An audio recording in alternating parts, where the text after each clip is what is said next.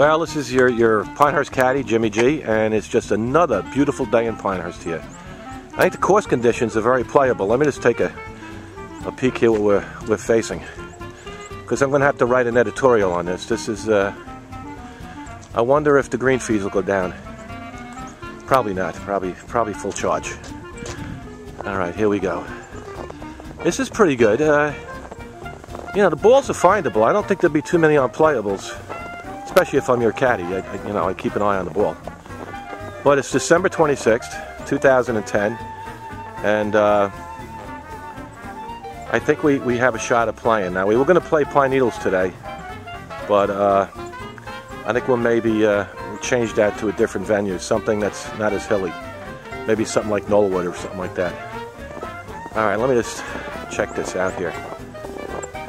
Well, Right, hold I'm getting a phone call here. This is my player.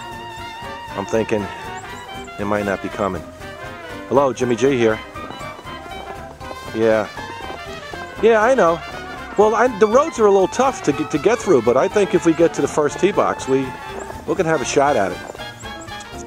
Well, that's even better. Two guys quit, so we're, we're a twosome. We should be able to get done, I would say, in about uh, two and a half hours. And, you know, I don't think that we should take a cart. I, I, I think we should definitely be walking. We good? All right. I'll see you in 20 minutes. Bye-bye.